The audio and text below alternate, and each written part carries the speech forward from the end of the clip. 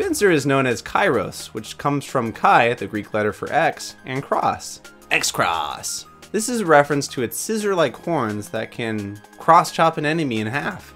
And in case you were wondering, Pinsir can in fact learn the bug type move X-Scissor, which in Japanese is known as Scissor Cross. Interesting how the Japanese and English version of this attack each contains a part of its name, almost as if it was meant to be a signature attack. Now we move from Kairos to Tauros, which is known as Kentauros, which also has its etymology rooted in Greek, deriving from the word bull, Tauros.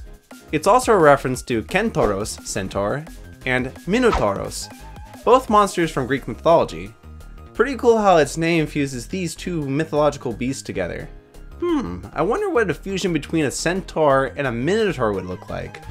Oh yeah, Rabbit Horseman from Yu-Gi-Oh! answers this question. So this monster's like Tauros' brother from another mother. But what am I doing here? This is a Pokemon name variation series.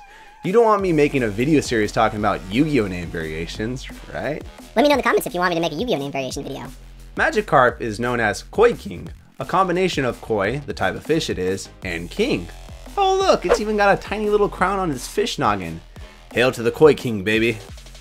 Gyarados' Japanese name is Gyarados. The Gyara could derive from Yakten, which means surprise change, which is definitely fitting for this Pokemon. And Gyaranto, which is the Japanese equivalent of gallant. The dos part could come from the Japanese word dos, dagger, because of its dagger-like fangs or dosun, the sound effect of womp. Many believe that the dos could also come from the Spanish word for two because it's the second stage in an evolution, but I think that's just a neat coincidence and probably not intended by the creators. I mean, if Magikarp's Japanese name was Koyuno, then sure, I'd believe it. Also, many Japanese websites I visited mention Gyarados' name being a fusion of two famous high-flying kaijus, Gyaos from the Gamera series and Rodan from the Godzilla series. I couldn't find any official word from Game Freak on the matter, but I wouldn't put it past them. One thing I can say for certain, they sure love Dai Kaiju films. I mean, max battles are essentially Poke Kaiju fights. Lapras is another Pokemon we can add to our long list of unchanged names. Lapras' Japanese name is Lapulas. This name most likely derives from Lapis Lazuli, Hold on, I got this. Lapis lazuli, a gem that shares the same color of this seafaring plesiosaur. Oh, and the uh, ples in Lapras could be connected to plesiosaur, the type of dinosaur it resembles. In addition to that, it could also be connected to the French scholar Pierre-Simon Laplace, I suck at French so please do not crucify me, who studied the ocean's tides, could have also inspired Lapras' name. One more thing, Laplace also apparently means seat in French. Oh, just thought of a good nickname for good old Lapras. C-T. Seat. Ditto goes by Metamon. Combination of metamorphosis and monster. The cutest little ball of L-O-V-E, aka Eevee, is known as Ibui. Sorry, sorry, I'll say it, I'll say it properly. It's uh, Ibui, made up of the first two letters of evolution said in a Japanese fashion. Eevee's evolved forms, Vaporeon, Jolteon, and Flareon, are Showers, Thunders, and Booster. Porygon is another Pokemon whose name is unaltered. Porygon comes from Polygon, but since the L sound doesn't really exist in Japanese, he was named Porygon instead.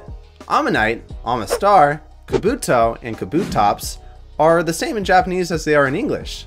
Omanyte is a combination of Omugai, Nautilus, and Ammonite, an extinct marine mollusk. Omastar is the same as its pre-evolved form combined with star.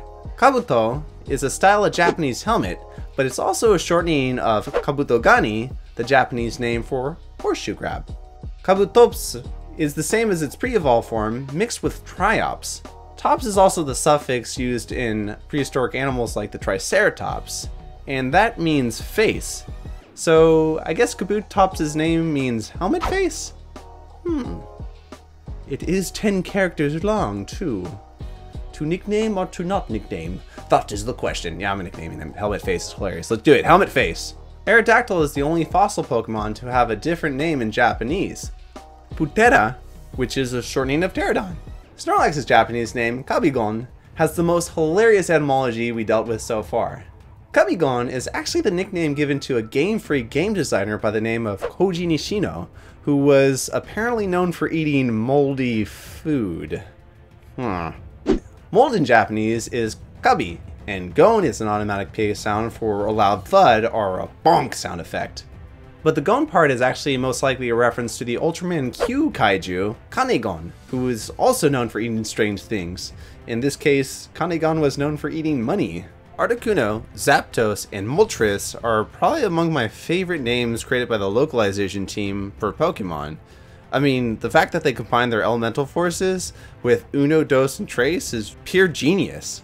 But unfortunately, I can't say the same thing about their Japanese names. In the original version, they're known as Frieza, Thunder, not to be confused with Thunder's, Jolteon's Japanese name, and Faya. I'm starting to think that Pokemon was created to teach English words to Japanese children.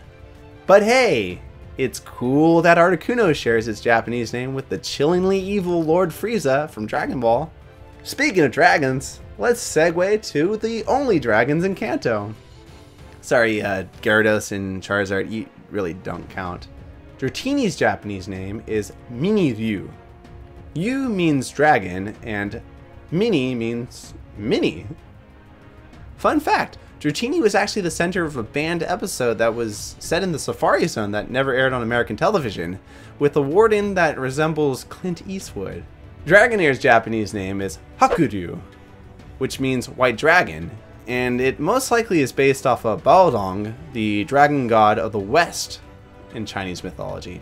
And apparently in its evolution process, it went so far west, it turned into a western style dragon.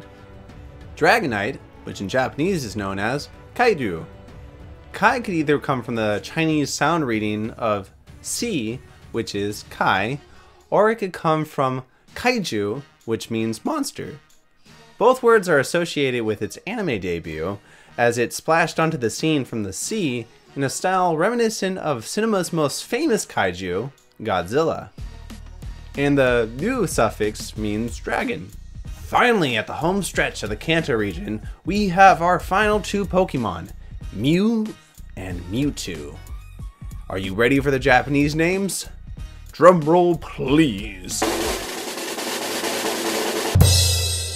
Oh, that was weak. That's a bad way to end this episode. Well, I can at least break down the names.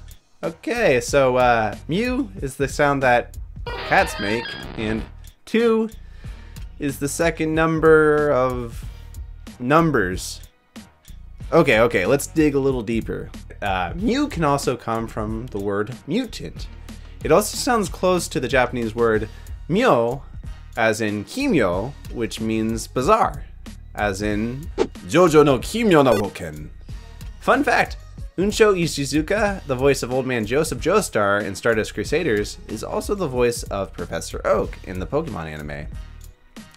That's a fun way to end it.